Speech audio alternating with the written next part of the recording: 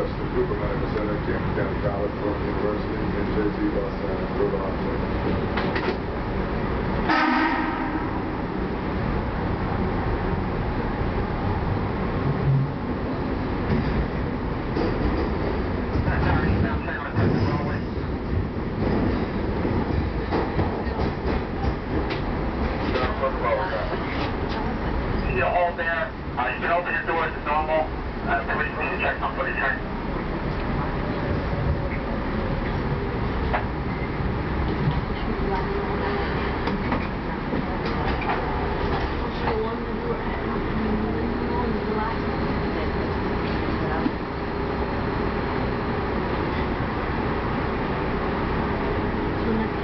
Sorry,